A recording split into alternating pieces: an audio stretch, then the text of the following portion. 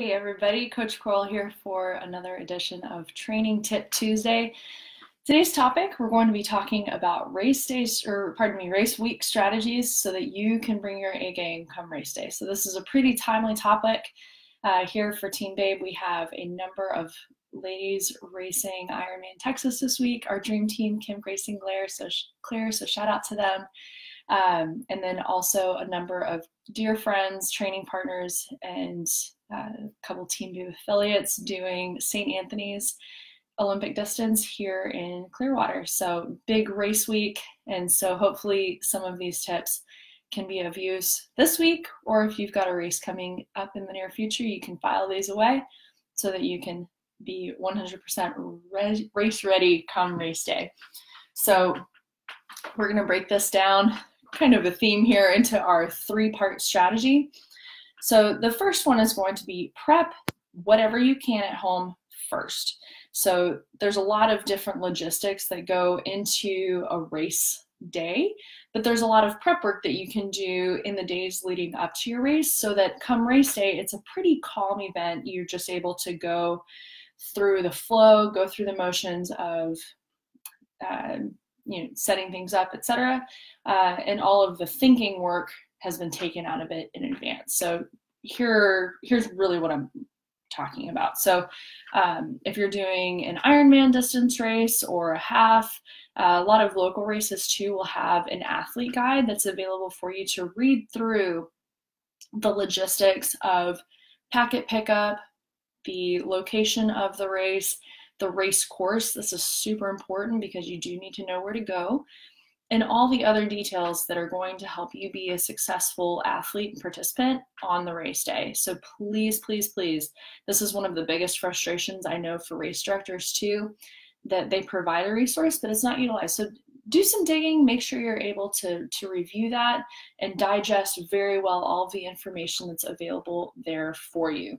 Uh, sometimes also in the race, uh, excuse me, in the athlete guide, They'll also have information about what's available for on-course nutrition and any parking information, all of these really helpful tidbits that you're able to gain an awareness of prior to rocking up to the race site and just going, hey, what's going on, guys?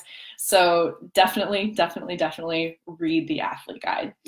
Uh, a couple other things. I know many triathletes and multi-sport athletes are very diligent with lists and race week is no exception. Make your checklist for your packing list, especially if you're going out of town. Um, if you're interested, I actually have a really helpful packing list that I've developed over the years that you can add and modify to fit your needs. So if you would like a copy of that, let me know and I'm happy to share it. Uh, and then also make your race day checklist. Go through a mental timeline and write it out pen and paper or an Excel spreadsheet, whatever works best for you. But make a, an actual list of what your race day flow looks like. Or you can even start the night before. Friday night, we're going to go to packet pickup at 5 p.m. Check, you know, write the little details about what you're going to do at packet pickup.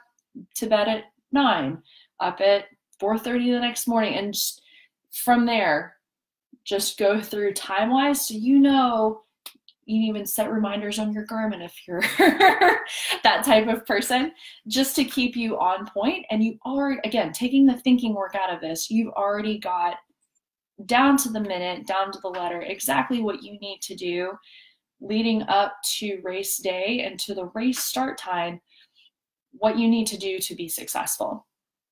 So, but I can't stress the packing list enough because that's the last thing you want to do is to show up to the race site and I've forgotten a couple things. Uh, something I also do is sometimes I'll pack extra, like goggles, things like this. So in case you need a spare or if someone else has forgotten their, to do their packing list, you can help somebody else out. So just uh, make a note of that. Uh, again, as far as logistics, just double check, if, especially if you're going out of town. For instance, I'm traveling to Ironman Texas this week, not racing, but traveling for sure. So I've made a point to double check uh, hey, Kristen, good to see you. I've made a point to double check that my Airbnb reservation is still good to go. They know what time I'm arriving, that my flights are good, rental car, I've got my own packing list. So, all of these details, I know what time I'm leaving, just all of these logistical items, you're just double checking and making sure that everything is in squared away and that you're good to go. And then one of the other best things that you can do for yourself and for your bike to have a wonderful, smooth race day experience is if you haven't yet done so, get this done right right now is to take your bike to your favorite local bike shop that you trust and have them do a quick inspection and a quick tune up on your race bike. So this is very important, especially if you're coming off off season. Hopefully you've already had an inspection and and whatnot. But if any adjustments need to be made to your bike, again, please make make it make a reservation well in advance. A lot of times this is crunch time for bike shops, um, but just have everything checked out that you're good to go, so you don't have to deal with any mechanical issues on race day. That's just that it's such so frustrating when that does happen. Um, so again, eliminating all of these variables from race day so that you are ready to go. All right, so the prep at home, just a quick recap. We're reading the athlete guide. You've made your packing list. You're checking it twice, three times, four times. You've double checked your travel logistics and anything that goes around that. And you've also taken your bike into your bike shop for a good tune up checkup so that you're ready to roll. All right, moving on. Tip number two for a very successful race week is when you go to packet pickup, do this early.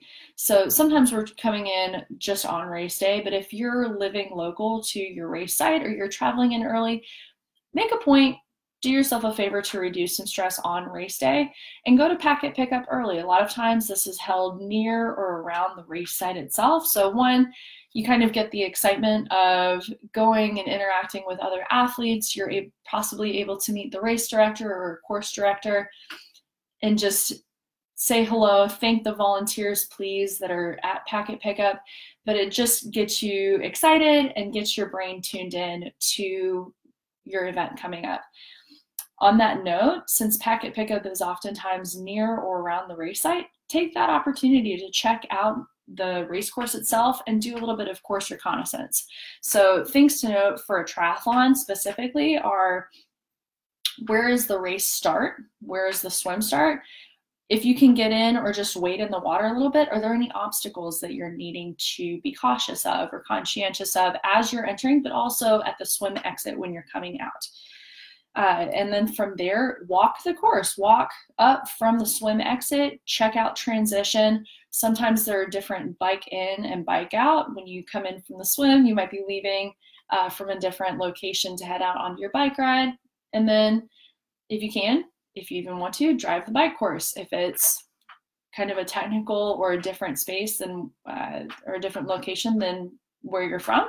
This can be a good opportunity to make sure that you're aware of any dangerous corners, turns, descents, anything along those lines. And then coming back from your bike course reconnaissance or just mentally you've gone on your bike ride, find out where you're supposed to come in from the bike and then leave from the run and then finally the finish line. This is also a good opportunity too if you have someone that is going to be doing the wonderful job of spectating and cheering you on. Make sure that you have a rendezvous rendezvous point for post race so that you're not uh, walking around and potentially losing your support crew.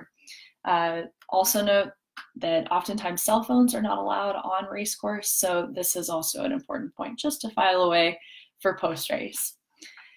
And then finally, the third point and the best thing that you can do for yourself during race week physically all the hay is in the barn so to speak. So there's no point in going out and trying to and i've heard this happen um, of people going out and going oh man like i don't know if i can finish it. And you know the thursday before a race they'll do a test run. Absolutely don't do this. All of your training is locked and loaded this week leading up to race week and sometimes a little bit prior to race week. This is a topic for another time. Uh, but what you really need to be focusing on is physically recovering and working on your mental game. So hopefully you've been doing a little bit of preparation on your mental game leading into race day, um, but really focus on mentally running through your race from race morning, waking up. Have a very clear mental image and kind of a mental video even of what it looks like to wake up. You're excited, you're making your breakfast, you're putting your bag in the car, just visualizing all of the things that you are manifesting for a very smooth race uh, and running through the motions so that once you are physically at your race, you've already run through the race a million times. And something else that I always like to have athletes do as well is envisioning what happens should you have something go sideways. And one of the best or most common things is what do you do if you get a flat tire? Envision being calm, collected, you know how to change your flat tire. Side note, if you haven't practiced practiced this in a while, this is a really great week to do that. Just run through and get some uh, refresher on that.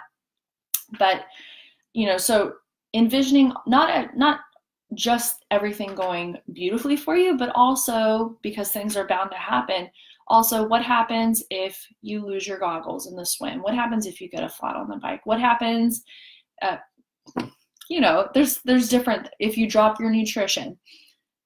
And come up with a game plan so that when it when if indeed it does happen, boom, you've already envisioned it and you know exactly your strategy to overcome, problem solve, and help you move forward with your race so that those sideways moments don't define your race outcome and you're still able to finish strong. So, just to recap, number one, we're prepping at home first with all of the logistics that we can take care of beforehand, before race day arrives, to really think, take that thinking piece out of race day so that we're just on autopilot once the race day hits. Two, hopefully you're able to go to packet pickup early and do a little bit of course reconnaissance. And again, if you can't do the course recon prior to the race in person, you've at least read it in the athlete guide. And then finally, race week is really that space that you're able to let your physical body recover and instead do more mental training and make sure that you've got all your ducks in a row. So I hope that this is helpful. If you have any questions about race, race week prep, race day prep, or taper, which I'll talk about definitely in another edition of Training Tip Tuesday, please don't hesitate to reach out. And we wish everyone who has a race coming up this week, particularly particularly our Team Babe gals and training partners, just an incredibly fun day. This is your victory lap, so we hope you enjoy it. Take care and have an awesome day.